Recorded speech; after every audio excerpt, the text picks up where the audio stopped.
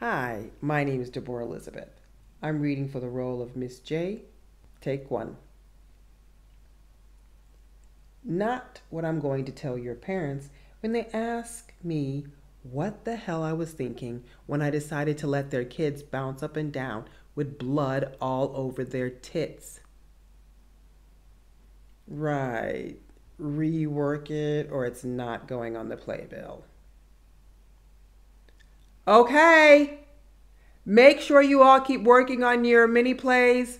The talent show is in six days. Don't give me that. You signed up for this. Plus, you know this is fun, so stop already.